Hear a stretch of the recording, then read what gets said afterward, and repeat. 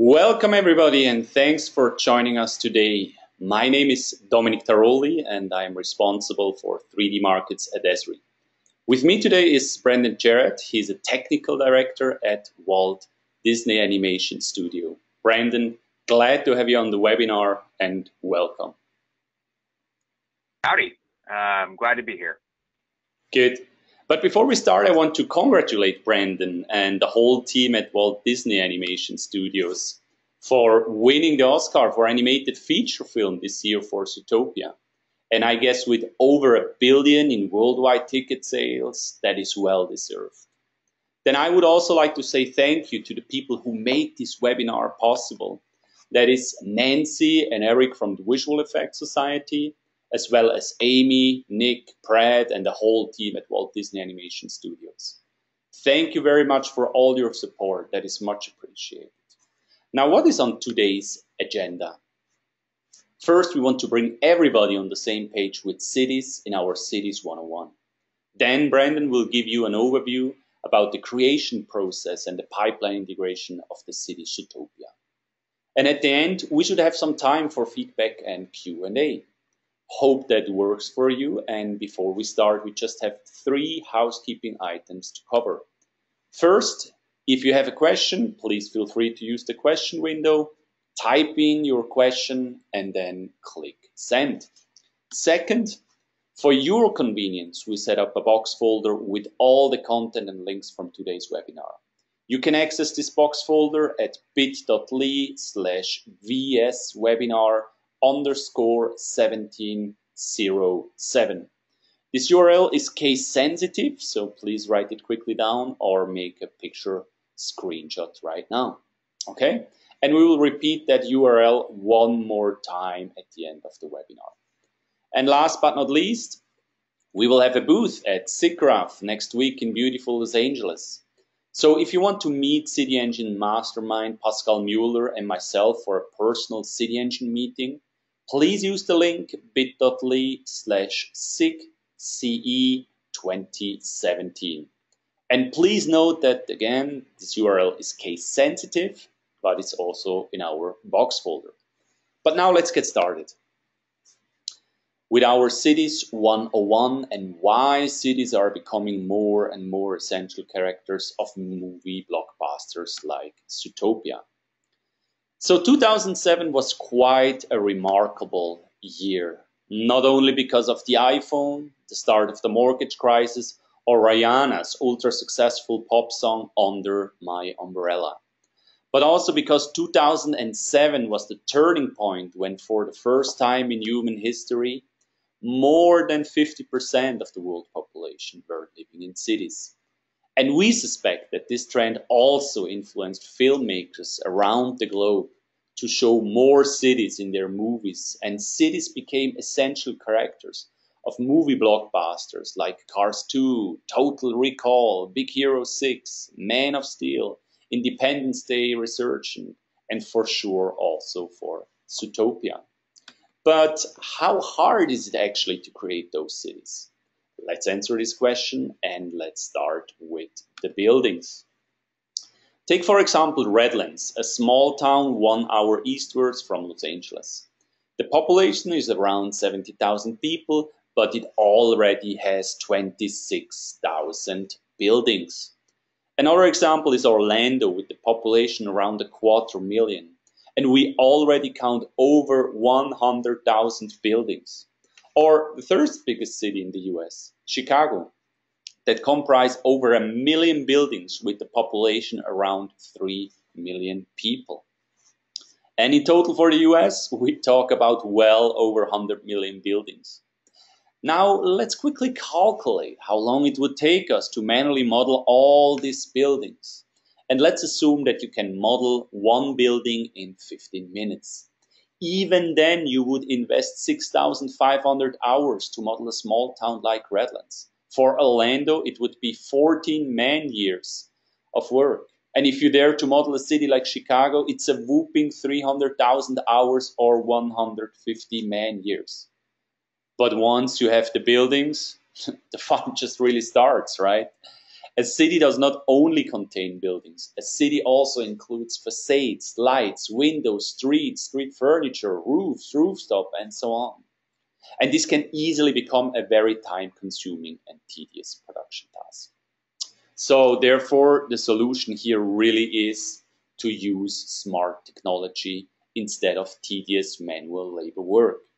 So what you see here in this diagram is on the y-axis, total cost or hours, and on the x-axis, the amount of quality content or design. So instead of having a more buildings, more time correlation, we can break it with procedural technology, where we first define rules in a library so that we can create those beautiful cities with thousands and thousands of buildings with adding all that time like Brandon did for Zootopia. And with that, I hand it over to Brandon. And Brandon, I make you now a presenter. And Brandon, the floor is yours. Okay. There we go. Thank you, Dominik. Uh, howdy to all you webinar attendees, and thank you for tuning in. I'm really excited about all the stuff I have to share with y'all today. Uh, but first, just a quick reminder, I have to ask you, please don't record anything in this presentation. Uh, it's intended for the VES streaming audience only.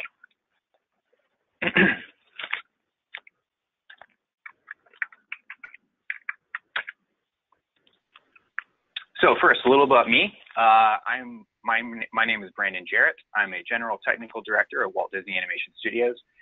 Uh, I graduated from Texas A&M uh, with computer science and visualization degrees and first interned at Disney in 2012 uh, and was fortunate enough to be hired on full-time in January of 2013. I started working on Big Hero 6 as my first film and I've been lucky to work on a bunch of great projects since then, including Zootopia, which I'm going to talk to you about today, uh, right now, I'm in the middle of working on Ralph Breaks the Internet, Wreck It Ralph 2. So at Walt Disney Animation Studios, we strive to create compelling stories set in believable worlds and populated with appealing characters. Today, I'm going to focus on that middle part, creating believable worlds, not necessarily realistic worlds. After all, a city full of talking animals and wearing clothes and using mobile phones is not exactly realistic but believable in that you believe the characters would actually inhabit that world. And its geography and scale and style complement and support the story that we're trying to tell. At Disney, we've been creating believable worlds for our films for nearly 80 years. In 1937, the Walt Disney Studios released its first fully animated feature film, Snow White and the Seven Dwarfs, and pioneered a new form of family entertainment. More than seven decades later, oh, excuse me, eight decades later, Walt Disney Animation Studios continues to honor its heritage through animated films that combine beautiful artistry, masterful storytelling, and groundbreaking technology. We try to carry on that legacy of artistic and technical advancement with each of our films, and Zootopia was no exception. Director Byron Howard developed his idea for the world of Zootopia, and soon Rich joined as co-director with Clark producing. Byron and Rich spent a lot of time thinking about the world, what kind of animals would live in it, and what it would be like. The initial pitch for the film started with a simple concept. We've seen movies with animals being animals in the natural world. We've seen movies with animals being animals in the human world. And we've even seen movies with animals being like humans in a human like world. But what we haven't seen is animals acting like animals in a modern world made by and for animals, a world where humans never existed. Now, telling that story, creating a living, breathing city for this film to take place, requires a great diversity of animal characters. There are nearly 70 species of animals in the film, all with varying scale, from the tallest giraffe to the tiniest shrew. And in order to accommodate all these differently sized animals, we had to design and build a world that fit with all of these animal types. In most instances, that turned out to use something we call multi-scaling, which you can see demonstrated in this early piece of concept art. So as the look and feel of Zootopia started to take shape, we had to ask the question, how can we build this out on a city-sized scale? Are there ways we can be smart about this and use technology to achieve what we need on a tight production schedule, rather than hand modeling and hand placing an entire city full of buildings? These are questions that many city planners have to try to answer in real life, but we had to think about the answers for this fictional animal city that no one had ever seen before. So we're building a totally fictional animal city from the ground up. Where do you start? Well, at Disney, everything starts with research. Production designer Dave Goetz and associate, associate production designer Dan Cooper, along with art directors Cory Loftis and Matthias Lechner, were charged with designing what this world would look like. They started with natural landscapes as inspiration. For example, these giant rocks in China that look like skyscrapers. And so they came up with skyscrapers that look like giant rocks. All of the architecture is informed by something in the natural world. And paintings like this one are, are crucial because they define the look and feel of the world and inspire all of the visuals that end up on screen. So that concept of multi-scaling I mentioned before also meant thinking about objects and vehicles that could accommodate animals of all sizes. For example, there are bigger and smaller trains, and each one has many door sizes to fit the different animals. And this train ends up being kind of important because, as it turns out, a train ride through the city would be the most effective way to introduce the audience and our main character, Judy Hopps, to the city of Zootopia and each of its districts.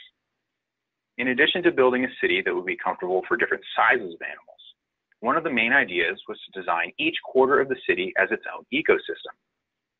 How else could you get polar bears, jaguars, rabbits, and camels to live in one city together? Creating distinct climates not only keeps all the animal residents happy, but also gives us the chance to design each district with nature in mind. In order to fulfill the needs of the story and actually take us on a train ride around the city, we had to fully build out each district. We needed an entire city layout, complete with streets, residential and business zones, and distinct construction all while thinking about the principles of geo design. We needed it all built with a very small team, and we needed it fast. So, how can a small team build a large urban environment very quickly? Well, fortunately, we had some previous experience with City Engine during the production of Big Hero 6. It was an invaluable tool for us to achieve the kind of scale and visual complexity required for the city of San Francisco in the film. San Francisco is based on the actual geography of San Francisco, so on Big Hero 6, we started with real San Francisco city data and plugged in our own building groupings and Japanese inspired architecture on top of it. In this image on the right, you can see some of our lots in City Engine that were all imported from real San Francisco city, San Francisco city data.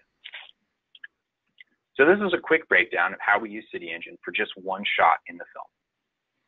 There are over 83,000 buildings, 260,000 trees, and over 215,000 streetlights, all exported from City Engine. And that was for just one shot out of many in the film that used City Engine to build and export city assets. But we can't just turn around and use the exact same thinking for Zootopia due to some fundamental differences between this film and Big Hero 6. For example, Big Hero 6 was based on actual real world geography and city data. Zootopia is completely fictional, so we have no pre existing data to go on we're basically starting from scratch with concept art and with some, some hand sculpted terrain maps. Big Hero 6 was also built at a consistent mentioned before has to accommodate wildly different animal scales. We might place mouse buildings in between regular sized buildings, and so our distribution is affected by that. So when you have no real world data to start with, what's the first step? Well, like any good city planner, we start by making a map. This is one of the earliest maps for the city of Zootopia. You can see the beginnings of each district and how it fits together into the whole. And looking at this map led to several questions. How do we divide up the world based on this concept art? How do we connect our neighboring districts together in an organic way? And perhaps most importantly, how do we distribute our buildings across each of these districts? And all of those questions were before the practical data concerns. Once we create and export this stuff, can we even open any of it in Maya? How can we structure our City Engine workspace and scene files to allow organized, rapid iteration based on designer feedback? And how can we share the workload and have more than one person making changes to our city at the same time? So City Engine operates around the notion of a workspace or a project. And this is nice because it keeps all of your data in one place that City Engine knows about, but it can be difficult to have more than one user working in the same project simultaneously. On Big Hero 6, we had already tried using a Git repository to treat our city engine rules in our custom Python scripts like a code base uh, where we could commit and push changes uh, from multiple users. And we had a fair amount of success with that. But this time around, we thought, why not put the entire City Engine workspace inside of Git? So this way, any user who wants to make changes to some part of the city wouldn't need to go to a special production area or do any kind of crazy setup. He or she would just be able to check out the City Tools Git repo and get the latest state of the city. So we store rule files, Python scripts, maps, and even City Engine scene files all within the same repo. We also symlinked the model directory of the City Engine workspace to a special production area in our pipeline where we stored all of the building parts that we used to visualize the city inside of City Engine. And that way the repository wasn't carrying around gigabytes and gigabytes of extra geometry data that we didn't need. So once we landed on a data management strategy for the workspace, and after looking at that initial map artwork that I showed in the last slide, we came up with the idea of a unified multi-layer map of all the districts. This map has a bunch of layers, uh, grayscale height values, exclusion and obstacle maps, distribution regions, and some color information to help visualize things inside a City Each of, these, each of these layers can be turned on or off to view the data we need for a given task. And on Big Hero 6, we were working directly from pre-existing satellite and geo survey data. So we were able to get to work pretty quickly uh, with confidence that uh, our ground truth was solid. Uh, for Zootopia, all of these maps had to be generated by an artist. And the exact shape of the terrain went through numerous iterations, so we had to be able to handle these changes in our city engine scene and adapt to new terrain. So all these layers are laid on top of each other to maintain alignment and scale. All you have to do uh, to add a new map layer in City Engine uh, is import one of these images generated from this map and set it at the right size, uh, and it should line up with everything else. So this is the very first early City Engine pass of the Plaza and Downtown Core districts, laid on top of a very early rough ground plane using some imported previs buildings uh, in OBJ formats and scaled to their approximate size.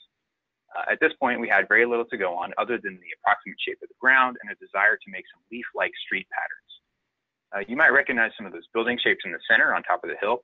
Uh, that's the very recognizable silhouette uh, that proved to be a useful anchor around which to build the rest of the city. The red shape down the hill in the flatter area is the train station and main plaza of Zootopia. And here we use City Engine's streets generation tool with some custom parameters to quickly throw down some natural looking shapes we thought the art directors wanted to see. Matthias and Dave described the plaza streets as being something like Paris mixed with watering holes of wildebeest.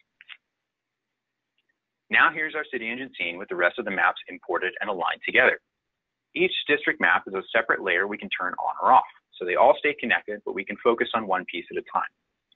So once the streets were drawn, we started with a very simple lot rule to create cube shapes as an approximation for buildings. Since these shapes were so simple and the geometry not particularly heavy, for this first pass, we just used City Engine's built-in FBX export to send this into Maya. This is the first previs version of the world layout inside of Maya. We're able to very quickly show what the density and visual pattern of the city might look like. You can also see some of the landmarks coming into being here, like the Palm Hotel in Sahara Square and the climate wall that separates it from Tundra Town. And this is all well and good, but we need to actually put some real buildings down at some point. So we'll dive into how we went about this, going from previs to the final product. In the first part of the city we encounter on our train ride is Sahara Square. In the center of the district is the ritzy Palm Hotel, which is shaped like a giant palm tree. Everything in Sahara Square is centered around the hotel and its oasis. The art directors wanted a more jagged, rocky shape for the parcels and streets here, getting sparser as we move away from the center. And here's what we came up with in City Engine. You can see the circular gap in the middle where the Palm Hotel and Oasis goes. This is the city, again, using the City Engine Streets Generation tool with some custom parameters, uh, we can throw down those natural looking shapes the art directors wanted. In the Sahara in particular, we're going for a blockier, rockier, more honeycomb shape uh, in keeping with the harsher desert climate and the densely packed buildings from the reference images that they gave to us. We also need to be able to quickly clear space, remove buildings, or modify our streets to adapt to terrain changes and accommodate creative feedback. And of course, we can't just fill a city with gray cubes.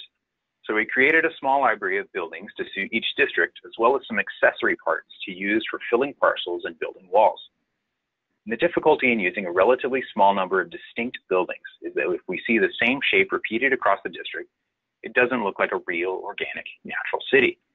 Uh, one way we combat this is with careful distribution rules to ensure we get a good mix of buildings on each parcel. And another way we can achieve greater variation is by constructing the buildings and the material palettes in a way that lets us mix and match to procedurally increase the number of possible variations.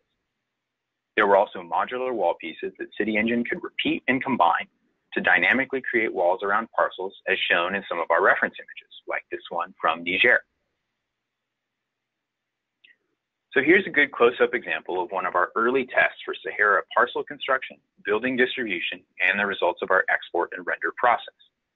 The image on the left is in CityEngine, and the red part is a map that represents our zoning areas. So we encode district information as attributes on the parcel shapes in CityEngine. Then we calculate our scope and setbacks and our building choice based on the district that we're in.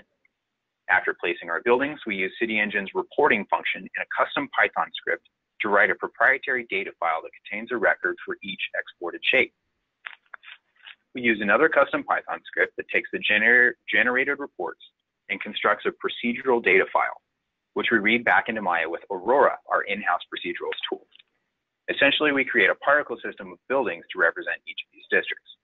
And this procedural element can be imported into shops just the same as any other asset in the pipeline. So on the top right, you can see our example block represented interactively in one of our scene files. And then in the bottom right, we have the same block as a full color render. You can see the material variation on that uh, bottom building there. It's all the same shape, but because we have some flexibility in the way our materials are constructed, we can get a few different looks on it. This is a ground level test render of Sahara Square. And because each building in our library is hand modeled and designed to look good close to camera, we can go all the way down to this level and things hold up pretty well. You can see the color variation on the buildings as well as the small filler pieces and the walls that close in some of the parcel shapes. And if we zoom out, this is what we see. We get a full district that renders out like this. Sahara Square is made up of over 61,000 parts, which may include buildings, palm trees, walls, tents, and other things that we decide to sprinkle into the mix. So next up on the train ride was Tundra Town, here, the architecture is more Russian inspired. You can see that in the final modeled assets as well.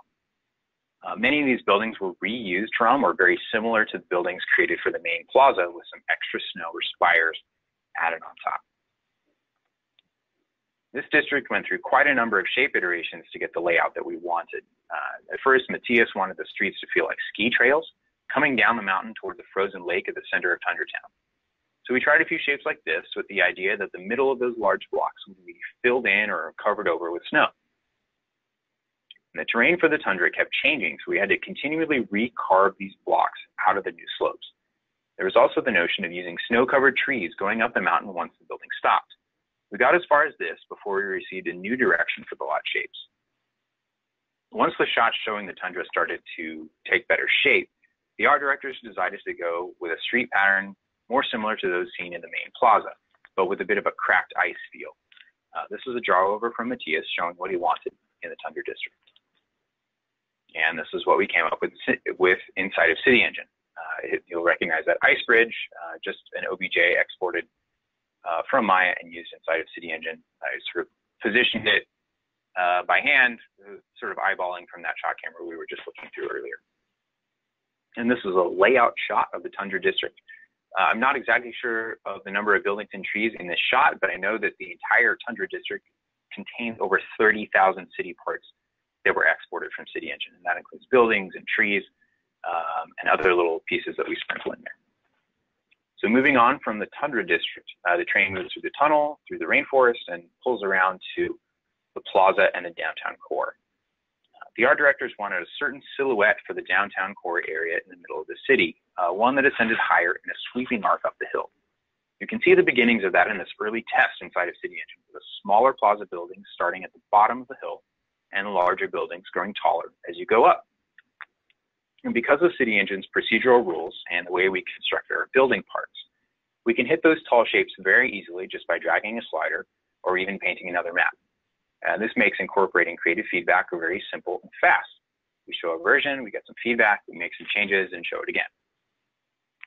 The top image is my first attempt at getting that ascending silhouette that the art directors wanted.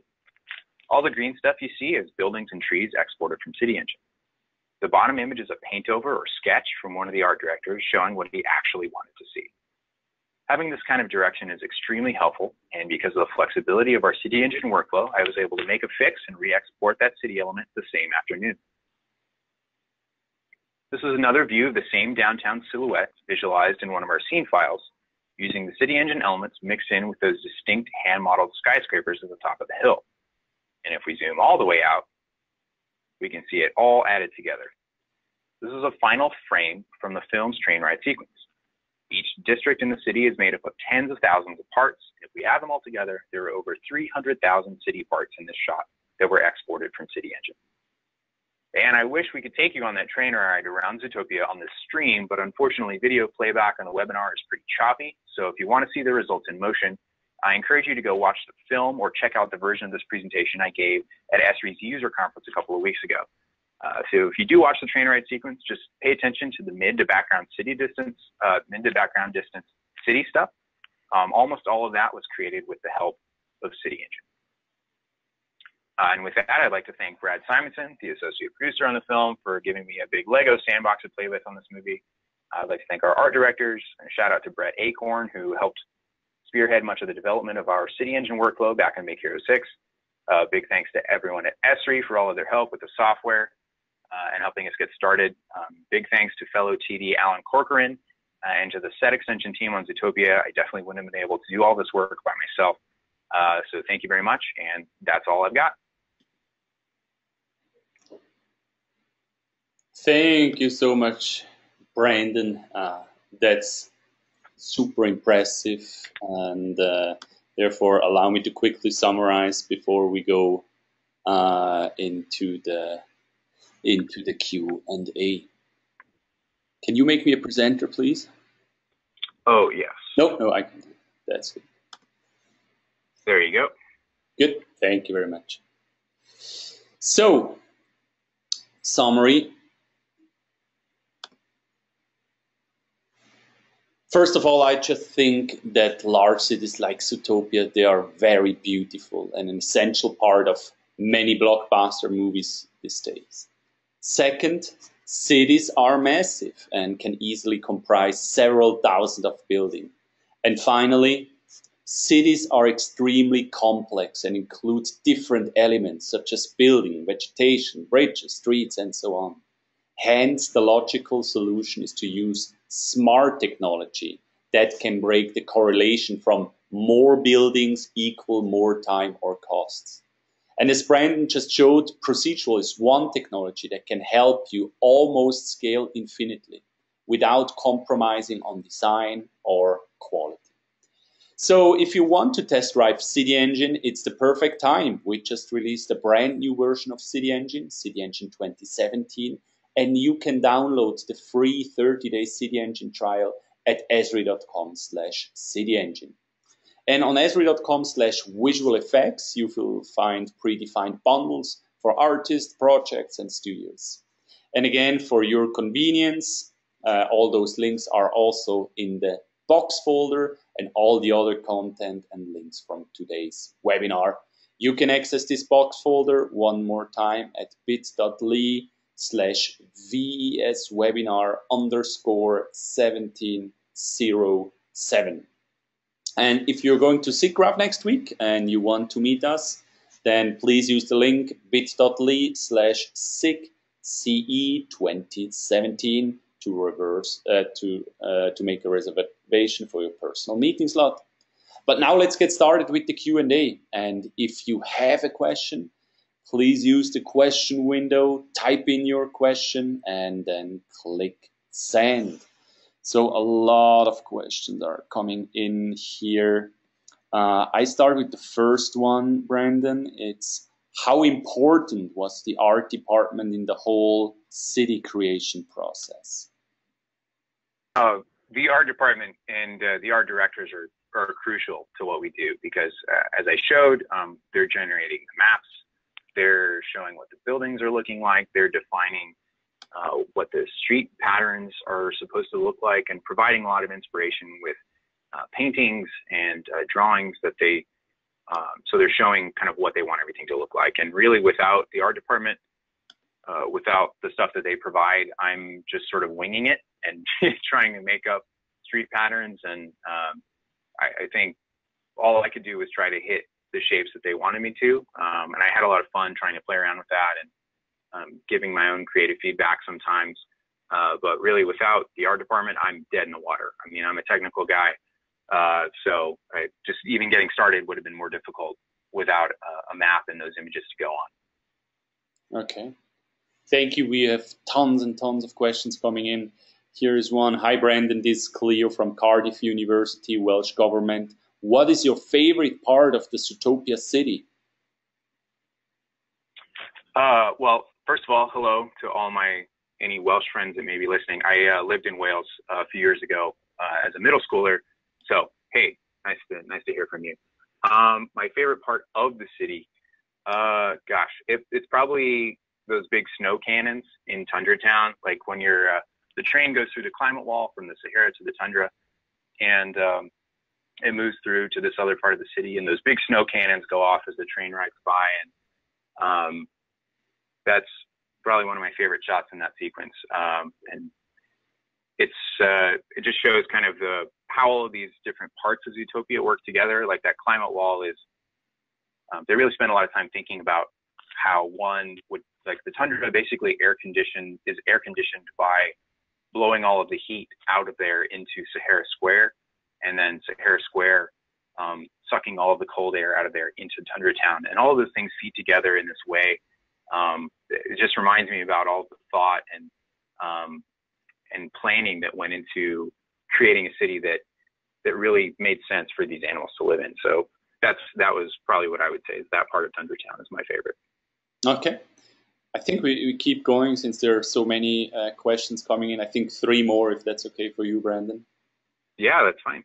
What was the most challenging thing about doing this amazing city? Asked Paola Guerra from Esri, Colombia. The most, the most challenging part, uh, I would probably say dealing with the scale. Um, not just the scale of the city itself, which is which is very large, but um, the differences in size that we had to accommodate. Um, a lot of the things I talked about with multi-scaling, like having different size doors and uh, different size buildings, you know, some of that's addressed in the model itself. It has some of those things modeled in, but um, like I briefly touched on, uh, we have to actually distribute our buildings in a different way uh, because of the scale of different parts of the city. Um, like there's that part in the middle of the plaza that uh, there's a chase sequence in the movie that takes place in Little Rodentia, and that's kind of stuck in the middle of all of these other giant buildings uh, for regular sized animals.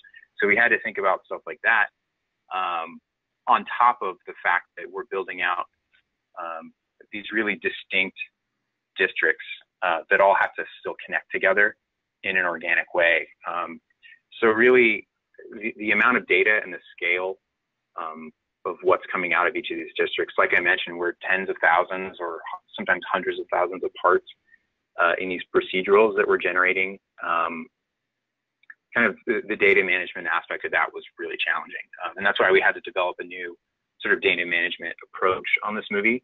Um, we had to carve up the world a little bit differently. On Big Hero 6, you know, you know, we had real maps, we had real data, we had you know actual districts and quarters of the city that were already well defined, um, like uh, sort of Market Street or Fisherman's Wharf, places like that. Uh, but on Zootopia, again, we were sort of making up where those things go. So having to make those decisions and, and carve things up in a way that made sense and allowed us to handle all of that data uh, was was very challenging. Got it. So we have a question from Christine Wakta from SCAD, and she's writing, I think this is amazing. I'm an architecture professor collaborating with motion media major, and we are looking for ideas like this. How advanced does one need to know City Engine to get close to this? Can, can you a little bit describe your background, how long you have used City Engine, and how long that um, do they have to know until to get close to this? Sure. Um, so I first used City Engine uh, when we were making Big Hero 6. Uh, my own background is in computer science. That's, that's what my undergraduate degree is in. Um, with, with some interest in art, and then my master's is, is in visualization, sort of taking different uh, data sets or, or um, different elements and visualizing them in interesting uh, and uh, sometimes complex ways. So I had a little bit of educational background that sort of prepared me for it, but I had never used the software itself before Big Hero 6. And um, we had a little bigger team of TDs who were working on it, um, myself and Brett, and then we had some other TDs who are working with me on um, the building creation side of things. Um, so I would say the software itself is is not.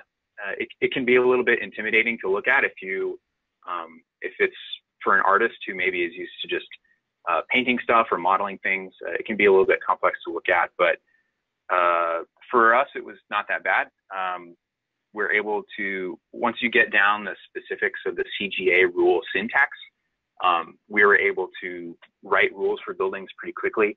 Uh, we actually had some scripts that auto-generated rule files to build particular buildings uh, once we got a handle on on how that syntax works. Um, the difficulty for us, I think, was was less in using City Engine itself and uh, more in getting it to play nicely with other parts of our pipeline, uh, figuring out how to get that data out of there in a way that we could use in our shops. Um, and that's where uh, my other production experience and working, you know, a little bit in computer science and having that understanding uh, helped help us figure out how we can actually leverage this as a tool in our pipeline. Um, and then I think uh, just having uh, having a good visual eye helped a lot. Uh, I mean, I took a lot of art classes uh, in school as electives in between my computer science coursework um, and was able to do some of the same in my master's work in visualization. So um, it's one thing to have art directors say, you know, make it look like this, and then it's another to be able to actually do that. Um, so having the technical know-how and then just sort of the, the visual understanding of, of being able to achieve what they're asking for. Um, those those things both played into it. So got it. So then two more questions. Uh, one is from Jordy he said like how did you manage to solve the var variable slopes on the streets and the building positioning? Did you alter the terrain based on the city engine data? Uh does you mean like flo floating objects off the ground or i'm not can you repeat the question again? I'm sorry. Yeah. How did you manage to solve the variable slopes on the streets and the building position oh okay. So I think yeah, yeah, yeah. So okay, the variable slopes on the streets and you know placing things on on steep slopes and yep. terrain stuff like that. Yep. Um, well, on Zootopia, it was actually not as bad as on Big Hero 6 because um, so we imported the satellite data and the maps for San Francisco, and we started building stuff on it. And then the directors immediately said, uh, "Make the hills twice as steep." And we're like, "You know, this is San Francisco, right? Like, it, you've been there, right? It's pretty steep already." Um, so we had some pretty extreme cases in Big Hero 6 that kind of helped us develop some logic for how to place our buildings. Um, I mean, we're doing stuff like uh, we created a subfloor rule back on Big Hero 6 that allowed us to um, we place a building on a parcel shape which is projected down onto the terrain. City Engine has a has a project streets tool that lets us um, kind of uh, match match those polygons to what the terrain is doing. Um, so in addition to that, you still sometimes end up with these gaps, these air gaps between the corner of the building and, and where the actual ground is. So what we did is make a subfloor rule that actually built downwards. So we can end up with uh, these sort of concrete subfloor looking things. Um, so we don't end up with those air gaps. And we tried to do the same thing on Zootopia, though it was generally not necessary because we uh, weren't working with the kinds of extreme slopes that we did in San Francisco. Um, but we did have methods to address that, and most of that was what was developed on Big Hero 6. Um, the only really challenging part for Zootopia, as far as slopes and rough terrain was concerned, was probably in the middle of the city, right there in the, the downtown Zootopia core. Um, there are some rivers and uh, other sort of jagged, uh, canyony type things carved out of that part of the ground. Um, and so placing buildings in between those on much skinnier lots. Um, I mean, I was drawing shapes that look sort of like the Hollywood Hills. You know, they're kind of zigzagging back and forth, going, uh, working their way up the hill. Um, that was more time consuming than anything. Just trying to get the streets that that made sense to be able to go up those hills. And um, anytime that we couldn't reasonably place a building, um, we just filled out with trees just to maintain visual interest. And honestly, a lot of that stuff gets cut off or hidden by things that are in the foreground. You know, those buildings, the very, very base of them that may not be as pretty looking or maybe floating off the ground slightly or something. Um, often that stuff gets hidden anyway. So, um, fortunately, on Zootopia, it wasn't that big a, of a concern, but we definitely had to address it on Big Hero 6, where the terrain was much steeper. Got it. And Jory just had a follow-up question that, that might also interest uh, several others. He said, like, um, in the past I did try City Engine, but the export part was not still very visual effects friendly. Is this something you could comment further? Thank you. So, did you run into any challenges, or can you can you uh, elaborate on lesson learned on the on the export? Uh, yeah, totally. So we we also wrestled with this. Um, uh, back on Big Hero 6, definitely, because we were still, this whole process was new. We were trying to figure that out. And, um, you know, the FBX export directly ge- exporting geometry only gets you so far because we use Maya and Maya can only handle so much geometry before it crashes. So um, that's why we tried this procedural approach um, and using using a particle system. Um, we had good systems in place for creating and visualizing particle systems already. Um, like I mentioned, Aurora, our in-house tool that we use for that kind of stuff, the, the effects department uses it very heavily. Um, as far as getting the data out of City Engine, uh, it did have this reporting function. I mean, that was really the most powerful thing for us is uh, we basically report the position and rotation and scale of a particular building ID and um, we have all that stuff that goes into a record. Uh, it's basically a text file, sort of a custom text file that defines uh, where all these buildings are, how they're oriented, how big they are, uh, and, and which parts it's using. So we know which uh, particular pieces to instance and uh, put together in space to make this building shape. Um, and we sort of had an intermediary process that took this record file and then converted it into our own um, custom procedural that Aurora could read. Um, it, but it took a it took a little bit for us to figure it out. Um, Brett did some really early tests, um, trying to figure out what the upper limit was for the amount of geometry we could export from City Engine. And um, because Hero was very complicated, we're basically building all of San Francisco.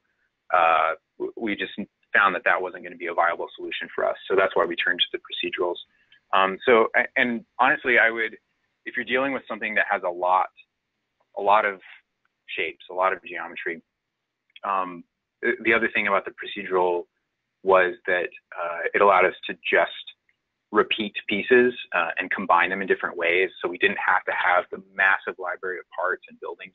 We could reuse parts uh, and repeat and combine them in different ways, uh, sort of a, like I mentioned earlier in the presentation, um, which also saves on memory. You know, and and when it comes to rendering these things, um, the fewer unique pieces you have, uh, the better off you'll be. Um, so that's that's what I would say to that. Thank you for that. And so many good questions are coming in. You guys are, are great, and still everybody is still here in the webinar. So let's take the the extra last one, and then uh, let's conclude this. And the last one is from Tim and he asked, "Will the city of Zootopia be reused in another movie or maybe a computer game VR simulation?" So if you want to uh, announce anything, you, you can do it right now. yeah, nice try. Um, no, I, I don't know. I can't say. Um, I do know we have we have made VR experiences for other films. Uh, recently, Moana had one, um, and I know that we do have a team that does these sort of VR experience things. I do not know if they're using Zootopia in particular for anything like that. Um, I mean, honestly, right now my whole world is uh, Ralph breaks the internet, uh, Wreck It Ralph 2. So I, I can't I can't say what they're doing beyond that, but um, I would like to. I would love to revisit that city sometime. Um, and if they ever need it, uh, we can always, you know, kind of we have our rules, we have our parts. We can try to go back and recreate it if they need it. Thank you so much, Brandon. Uh, thanks for all your feedback, um, and a lot of people were also asking if if we are recording it. Yes, we do recording it, and I will work afterwards with our friends from Walt Disney Animation Studios to see whether we can uh, release it on our YouTube channel, the City Engine YouTube channel. Uh, to to make it available for you. So there were several people who are teaching and wanted to share it with their students, and I will make everything uh, possible to to to uh, publish uh, the recording afterwards. But I first to work with our friends from Walt Disney Animation. Hope you understand that. Okay, so if we could not answer your question during the webinar, and that's there some more question, we will come back to you directly via email or the phone. And let me now conclude the webinar by saying thanks to Brandon for an amazing presentation and insights and for answering so many que questions. That's that's much appreciated. Then let me. Thanks so much for having me, Dominik. I appreciate it. Absolutely. Let me also say thanks to Nancy and Eric from the Visual Effects Society, as well as to Amy, Nick, Brad, and the whole team at Walt Disney Animation Studios. Thank you very much also for joining us today, and we hope to see you all next week uh, at SIGGRAPH in beautiful Los Angeles. So that's all for now. Goodbye and auf Wiedersehen.